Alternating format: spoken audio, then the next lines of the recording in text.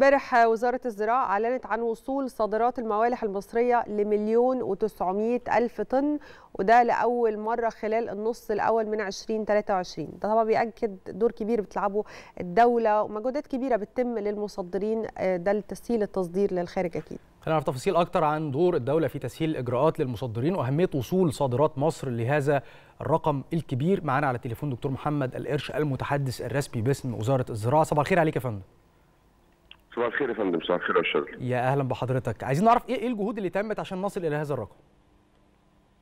يعني الأول اسمح لي أشكر حضرتك وطبعا جهود كبيرة جدا تمت علشان نصل إلى هذا الرقم. إحنا بنتكلم على مشروعات لزيادة القدرة الإنتاجية زي مشروعات التوسع في الأراضي الجديدة واستصلاح الأراضي الصحراوية وأيضا مشروعات أخرى لها علاقة بزيادة الكفاءة الإنتاجية وزيادة إنتاجية وحدة الأرض وإنتاجية وحدة الميه وده بالتالي انعكس في زيادة الإنتاج أيضا إضافة لأن كمان في مشروعات تم تنفيذها كان هدفها خدمة الفلاح والمزارع المصري وتعظيم جودة الإنتاج بشكل كبير.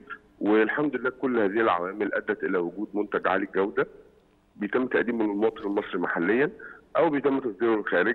ومع خروج مثل هذه المنتجات عالية الجودة بنلاقي ثقة دولية كبيرة بتقع على المنتج الزراعي المصري والحمد لله ده بيسهل لنا فتح أسواق جديدة وبالفعل تم فتح أكثر من 80 سوق جديد خلال الفترة الأخيرة. امم طيب نقدر نقول يا فندم إن مضاعفة التصدير ده ناتج عن يمكن جهود الحجر الزراعي والمعامل التابعة للوزارة والمجلس التصديري من خلال التعاون مع السفارات المصرية والتمثيل التجاري المصري بالخارج؟ طبعا زي ما حضرتك قلتي ده جزء مهم جدا كل هذه الأطراف المعنية والحقيقة جزء كبير بيبذل للتنسيق مع مختلف دول العالم وإن يبقى في تواصل مستمر معاهم علشان نقدر نفتح الأسواق الجديده ونقدر ننظم من عمليه وصول البضائع والشحنات المصرية وده بالفعل بيحصل. والحمد لله يعني كل الأطراف سواء الخارجية وزارة التجارة والصناعة المجلس التصديري الحجر الزراعي طبعا دور كبير جدا بيقوم بيه منظومة التكوين اللي بيتم تطبيقها. كل الأطراف الحقيقة الأطراف كثيره جدا مشتركة في هذه المنظومة كلها بتساهم في زيادة الفرص أو فرص التعاون مع مختلف دول العالم وان يكون عندنا قدرة على الوصول لهذه الدول. الحمد لله إحنا دخلنا لدول عريقة في مجال ضمان جودة المنتج. زي الاتحاد الأوروبي كل دول الاتحاد الأوروبي بتشتغل معانا الحمد لله. بنتكلم على اليابان على الصين على مختلف دول العالم. كل قارات العالم بتتعامل معنا في المنتجات الزراعية المصرية الحمد لله. عظيم. وحضرتك بتتكلم دلوقتي عن فتح أسواق جديدة. يمكن الحجر الزراعي الخاص أو بتاع نيوزيلندا معروف إن هو مشدد قوي وليه اشتراطات مشددة فالوصول إلى نيوزيلندا وإن إحنا نفتح باب للتصدير هناك أعتقد إنه ليه أكتر من رسالة بالإضافة إلى طبعا زيادة الصادرات من الموالح المصرية والمنتجات الزراعية المصرية بشكل عام ده بيعطي ثقة زي ما حضرتك كنت بتتكلم في البداية ثقة في المنتج الزراعي المصري لكل دول العالم. طبعا ده الحقيقة واضح جدا والسوق النيوزيلندي من الأسواق اللي كان فتحها وكان سوق من الأسواق اللي نقدر نقول عليها بيطبق اشتراطات قاسية. السوق الياباني أيضا من الأسواق اللي بتطبق اشتراطات قاسية بتوصل لدرجة إن عشان منتج زراعي يخش اليابان من دولة جديدة كان لابد تصل إلى موافقة البرلمان. يعني يبقى في ضمان جودة المنتج ويتم عرض الأمر ويصل إلى البرلمان هناك لإقرار دخول مثل هذه الشحنات. فده الحقيقة إجراءات قاسية بيتم تنفيذها. ولكن كل ده إحنا قدرنا نتجاوزه بفضل جودة المنتج المصري بفضل وعي الفلاح المصري بفضل آه تعاون مختلف الأطراف معلش اسمح لي حضرتك بتتكلم عن الاشتراطات. هل هل الاشتراطات واحدة في كل الدول؟ ولا في اشتراطات بتبقى معقدة في دول ودول يعني اشتراطات دخول المنتج الزراعي لسوق هذه الدولة طبعا إحنا الاشتراطات بتختلف من دولة لدولة. إحنا بنتكلم على بعض المواصفات القياسية اللي بتكون موجودة في كل دولة، إحنا طبعا عندنا في الدولة المصرية في مواصفات قياسية إحنا بنطبقها وبنلتزم بيها.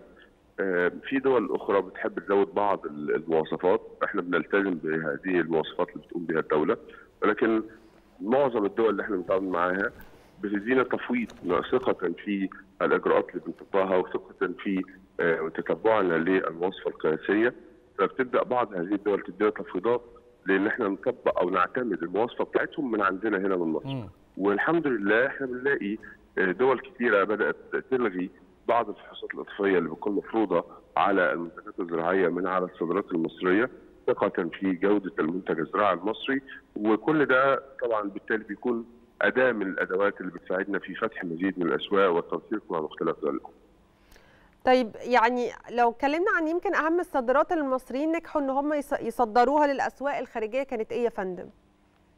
يعني طبعا بلا شك الموالح المصرية واحدة من أهم الصادرات اللي تم تصديرها أو بيتم تصديرها بشكل مستمر من السلع الزراعيه المختلفة مم. الموالح إحنا بنتكلم فيه آه، وصلنا رقم أكثر من 1.9 من 10 مليون طن وده رقم مؤثر ورقم مبشر ويؤكد إن شاء الله يكون في مزيد من التطور ممكن حضرتك تعيد لنا الرقم تاني بعد إذنك قد إيه؟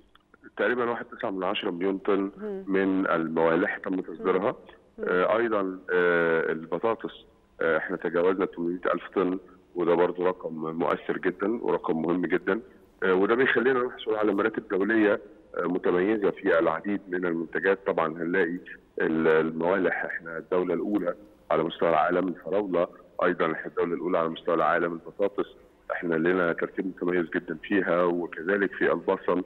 والثوم كل دي آه، آه، من المحاصيل اللي فيها الريادة مصرية ولنا ترتيب دولي فيها في حجم وكم الصادرات ال- ال- المصريه من. عظيم. من الحاجات ال- المهمة برضو اللي قمتوا بيها حضرتك ذكرتها دلوقتي هو نظام التكويد عايزين نفهم عنه أكتر. هل مثلا إحنا بنكود هذه المزرعة بنعرف المنتج اللي خارج من هذه المزرعة عامل إيه؟ فما بنحتاجش إن إحنا نسحب عينات كل فترة ونقوم بعملية التحليل ليها للتأكد من خلو هذا ال- ال- المحصول من المتبقيات وخلافه ولا بالظبط إن إحنا كودنا هذه المزرعة فخلاص إحنا واثقين تمام الثقة في هذا المنتج؟ لا طبعا إحنا عملية التكويد إحنا برضه بنقوم بعمليات الفحص وعمليات المتابعة. والتدقيق ولكن فكرة التكويد دي بتقول لنا إن كل منتج خرج من أي مزرعة وتم التعامل معاه من أي مركز تعبئة وتغليف آه، ومركز فرز وبالتالي إحنا عارفين كل الأطراف اللي تدخلت على هذا المنتج.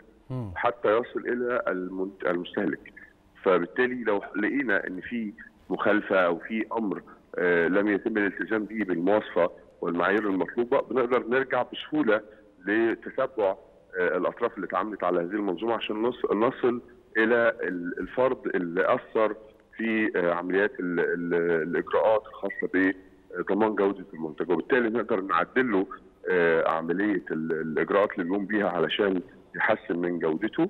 وبالتالي ده بيدينا فرصة إن إحنا نقدر نصل ونقدر نعمل عملية تتبع سريع للمنتجات. وده في النهاية بيخلي ال- المواطن أو ال- الدولة اللي إحنا بنصدر لها لو لقت إن في أي إجراء بسهولة جدا نقدر نوصل لصاحب هذه الرسالة ونقدر نقوم بتعديلها وبالتالي ده يخلينا في ثقة دايما مستمرة ومتتالية مع مختلف دول العالم ومع المستهلك المصري.